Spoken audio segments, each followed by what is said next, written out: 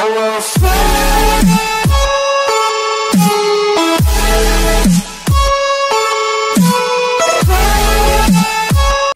hello friends welcome back to my channel Dil square അപ്പോൾ friends ഇന്നത്തെ നമ്മുടെ recipe carrot rice ആണ് കേട്ടോ നമ്മളിന്ന് ഉണ്ടാക്കാൻ വേണ്ടി പോകുന്നത്.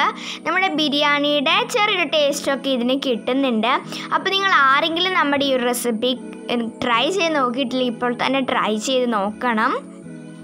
നമ്മൾ റൈസ് ഉണ്ടാക്കിയിരിക്കുന്നത് റേഷൻ അരി ഉപയോഗിച്ചാണ്. അപ്പോൾ നമുക്ക് എങ്ങനെയാണ് ഈ ക്യാരറ്റ് റൈസ് ഉണ്ടാക്കുന്നതെന്ന് വീഡിയോ കണ്ട് മനസ്സിലാക്കാം.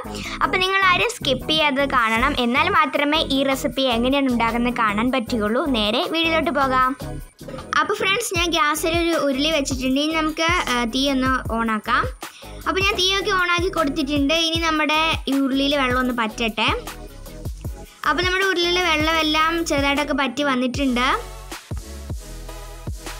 അപ്പോൾ നമ്മുടെ ഉരുളിയിലെ വെള്ളമെല്ലാം പറ്റിയിട്ടുണ്ട്. ഇനി നമ്മൾ ഫസ്റ്റ് ഇതിലേക്ക് കുറച്ച് നെയ്യാണ് നമ്മൾ ഒഴിച്ചു കൊടുക്കുന്നത്. നിങ്ങൾക്ക് റേഷനരി നിങ്ങളുടെ ചോറിനനുസരിച്ച് നിങ്ങൾക്ക് നെയ്യ് കൂട്ടാം കുറയ്ക്കാം. അപ്പം നമ്മൾ ഇവിടെ കുറച്ച് ചോറ് എടുത്തിട്ടുണ്ട്. അതിന് അളവനുസരിച്ചാണ് നമ്മളിവിടെ നെയ്യ് എടുത്തിരിക്കുന്നത്. ഈ നെയ്യൊക്കെ ഒന്ന് ഉരുകട്ടെ. നമ്മുടെ നെയ്യൊക്കെ ഉരുകിയിട്ടുണ്ട്. ഈ ഒരു സമയത്ത് നമുക്ക് ഈ നെയ്യിലേക്ക് കറുവപ്പെട്ടയും പെരുംജീരകവും ഇട്ട് കൊടുക്കാം. അപ്പോൾ നമ്മൾ ഇട്ട് കൊടുത്തിട്ടുണ്ട്. ഇനി നമുക്ക് ജസ്റ്റ് ഇതൊന്ന് ഇളക്കി കൊടുക്കാം. ഇനി ചെറുതായിട്ടൊക്കെ മൂത്ത് വരുമ്പോഴത്തേനും നമുക്ക് ഇതിലേക്ക് നമ്മുടെ മെയിൻ ഇൻഗ്രീഡിയന്റ് ആയ ക്യാരറ്റ് നമുക്ക് ആഡ് ചെയ്ത് കൊടുക്കാം. നിങ്ങളുടെയൊക്കെ ചോറിനെ അനുസരിച്ച് ക്യാരറ്റ് എടുക്കാം കേട്ടോ. അപ്പോൾ നമുക്ക് ഈ നല്ലപോലെ ഇളക്കി കൊടുക്കാം. ഈ ഒരു സമയത്ത് നമുക്ക് കുറച്ച് ഉപ്പ് ഇതിനകത്തോട്ട് ആഡ് ചെയ്ത് കൊടുക്കാം. എന്നിട്ട് നമുക്ക് നല്ലപോലെ മിക്സ് ചെയ്യാം. പിന്നെ വേറൊരു കാര്യം നമുക്കിത് നല്ലൊന്ന് വരട്ടിയെടുക്കാം. ഈ ക്യാരറ്റിന്റെ പച്ചച്ചൊവ ഇഷ്ടമുള്ളവരാണെങ്കിൽ നിങ്ങൾക്ക് ഉപ്പ് ചേർത്തിട്ട് അടുത്ത ഇൻഗ്രീഡിയന്റ് പെട്ടെന്ന് തന്നെ ചേർക്കാം. ഞങ്ങൾക്ക് ഇതിന്റെ ക്യാരറ്റിന്റെ പച്ചച്ചൊവ ഇഷ്ടമില്ല.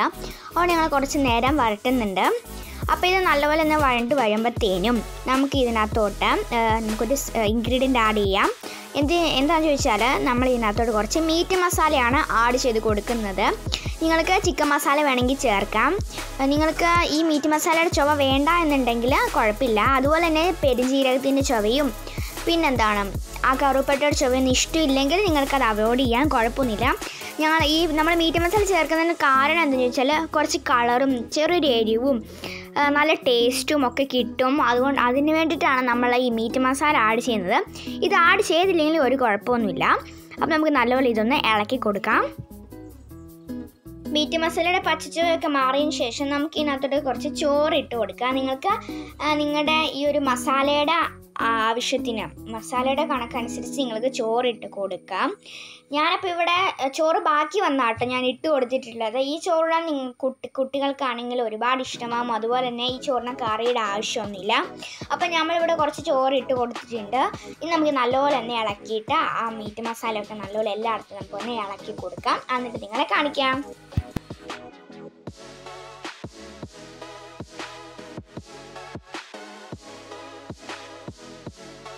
അപ്പോൾ ഫ്രണ്ട്സ് നമ്മൾ നല്ലപോലെ ഇത് ഇളക്കി കൊടുത്തിട്ടുണ്ട്. ഇനി നമുക്കിനി ഉപ്പുണ്ടോ എന്ന് നോക്കാം. അപ്പം ഞാനിവിടെ കുറച്ചെടുത്തിട്ട് ഉപ്പുണ്ടോ നോക്കാണ്.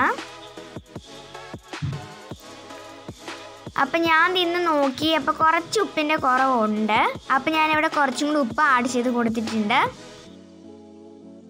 അപ്പോൾ ഉപ്പൊക്കെ ചേർത്തതിന് ശേഷം നമുക്ക് ഇനിയും ഒന്നും കൂടി ഒന്ന് മിക്സ് ചെയ്യാം.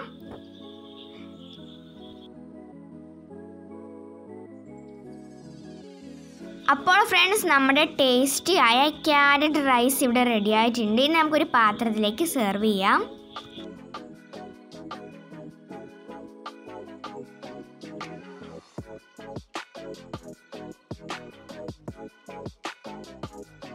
അങ്ങനെ ഫ്രണ്ട്സ് നമ്മുടെ കലാപരിപാടികൾ കഴിഞ്ഞ് നമ്മുടെ ക്യാരറ്റ് റൈസ് ഇവിടെ റെഡി ആയിട്ടുണ്ട്. കാണുമ്പോൾ തന്നെ നിങ്ങൾക്കറിയാം.